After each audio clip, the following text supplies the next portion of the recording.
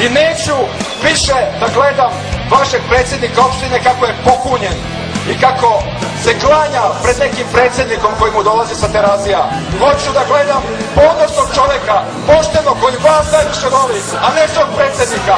To je sekula i zato idemo da pobedimo.